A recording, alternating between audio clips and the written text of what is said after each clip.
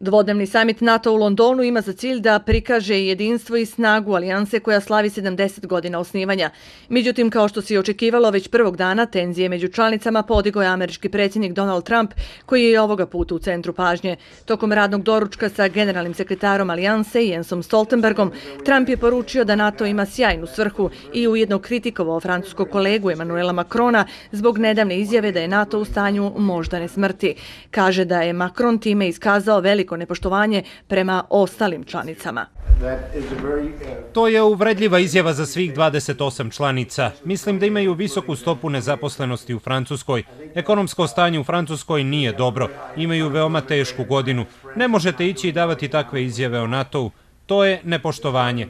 Niko ne treba NATO više od Francuske, a najmanje koristi od njega ima Amerika. Ovo je veoma opasna izjava. Trump je kazao i da bi se Francuska mogla odvojiti od NATO, ali nije pojasnio zašto to misli. Stoltenberg je kazao da članice alijanse se više troše na odbranu, što je inače Trumpov zahtjev. I vaše liderstvo po pitanju troškova odbrane ima stvarnog uticaja. Moram dodati da je NATO najuspješniji savez u istoriji i da je uspio da se mijenja kako se sam svijet mijenjao.